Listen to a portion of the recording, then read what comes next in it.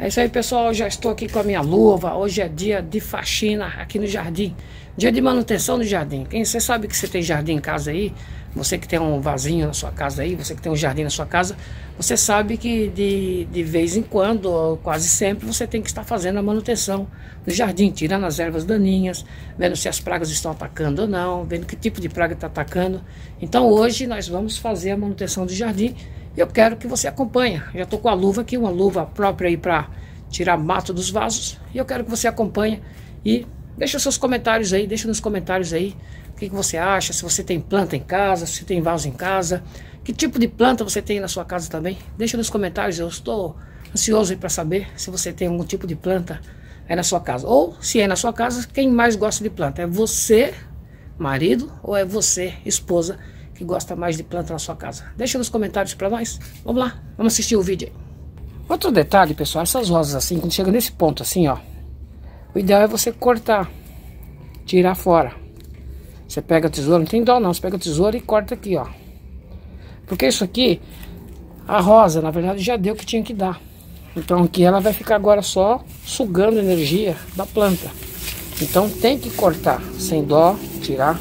Aqui, ó, tá caído, ó já abriu, a tendência dela agora aqui é só trazer fungos, trazer doença para a roseira.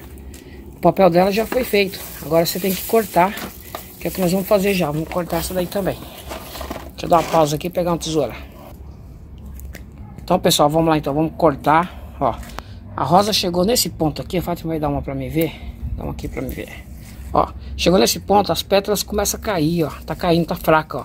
Então você tem que tirar da sua roseira, porque só vai atrair fungos, atrair insetos, bichos aí, pragas para sua roseira. Ela perdeu totalmente a defesa dela.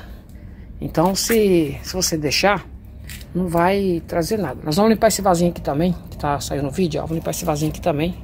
Vou pegar a luva ali para me limpar ele.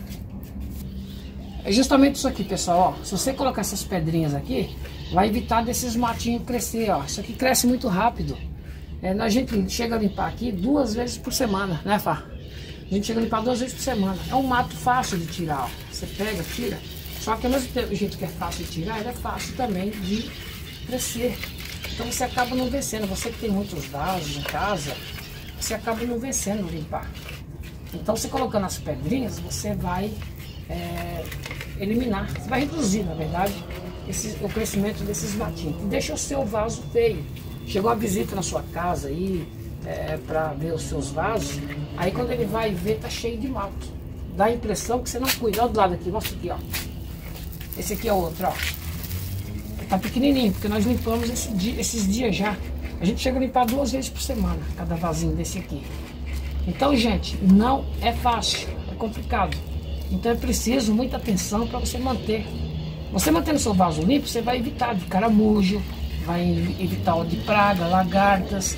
A, a, a, grande parte do cuidado do seu vaso que você vai ter é a limpeza. Você limpou, você tem uma maneira melhor de monitorar. Olha aqui, por exemplo, vou mostrar para você aqui. Deixa eu achar aqui. Aqui, ó. Isso aqui, ó. O que, que é isso aqui, Fá?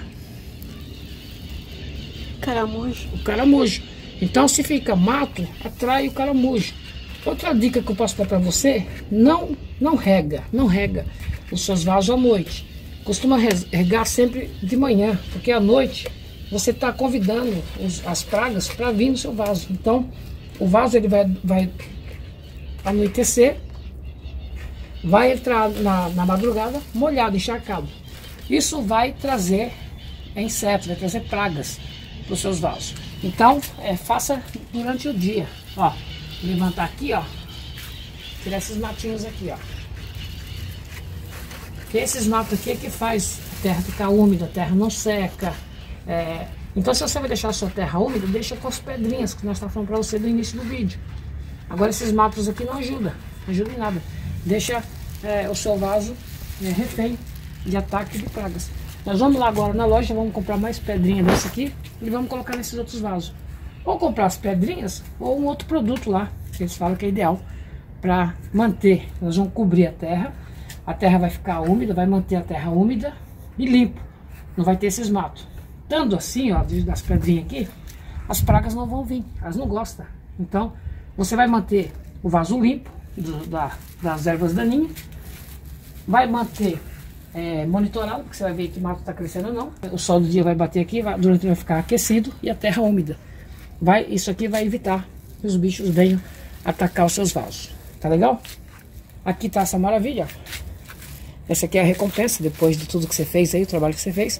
Essa é a recompensa de você ter um jardim, um vaso florido aí do seu lado. Olha aqui, ó. Ó. É, você não vence, na verdade você não vence. Você quer planta, né, Fá? É. Você não vence.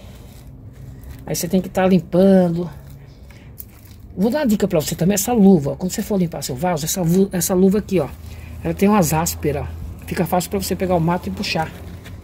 Com a mão fica mais complicado. Você consegue tirar, mas é mais complicado. Com essa luva aqui, ele pega e trava o mato, ó. Então é uma luva própria para jardim. Para você limpar os vasos de jardim. Aí você consegue fazer. Aí depois a gente vem só aqui, dá uma varridinha. E tá tudo aqui. Isso aqui é o que, Fá? Pode tirar. Pode tirar. Você consegue manter. Esse é o cacto. Ele você encosta a mão, ele solta esses espinhozinhos aí na sua mão? Não, esse não. Não? Não. Tem aqui os espinhozinhos, ó. Não, não solta não. Não solta não? Esse não. Não é todos que soltam. Mas se eu colocar a mão aqui, vai soltar no meu dedo. Não, eu coloco o meu. Não tem. Porque tem uns que você coloca, ele fica todo, todo cheio de espinho, né? Mas aqui, ó, limpar esse aqui também. Ó o caramujo aqui, ó. Esse aqui é outro produto que nós vamos depois fazer outro vídeo mostrando pra você.